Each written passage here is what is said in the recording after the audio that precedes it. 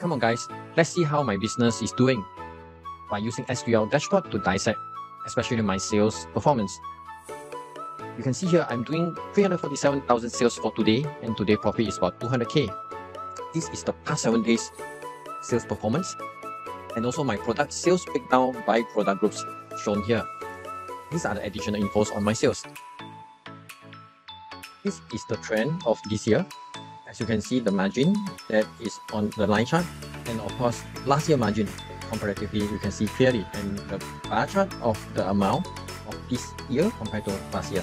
And this is by item analysis. I can know which are the top selling product of my customers buying from me. As a boss I really wish to know which salesman is doing well and I need the total detailed breakdown of individual salesman. I know how many customers year to day sales and profit he contributed and revenue 20% by agent and of course the sales trend and also I need the stock item or stock group or customer analysis. So these are the breakdown that I wish to have in order to plan my business. Last but not least, I need to have the yearly comparison that compared to last year and this year. I always ask myself, how can my business be better? So this screen will help me to know how many quotations I've raised and converted and of course spending conversion on open quotation. I can always filter by agent, salesman, or by product group. The sales by agent breakdown by item group that easy for me to visualize. In order to further manage my business, I always need detailed info like agent salesman, how many code, how many codes still pending for conversion.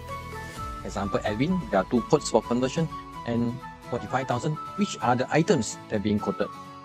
All shown out clearly under the menu look for the graph here so that you can know how to propel your business.